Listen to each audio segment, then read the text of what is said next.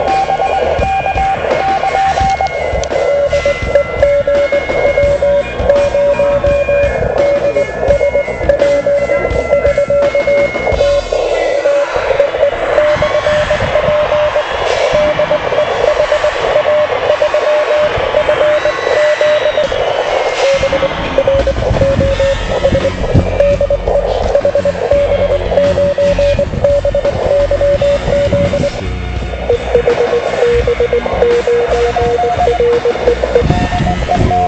you.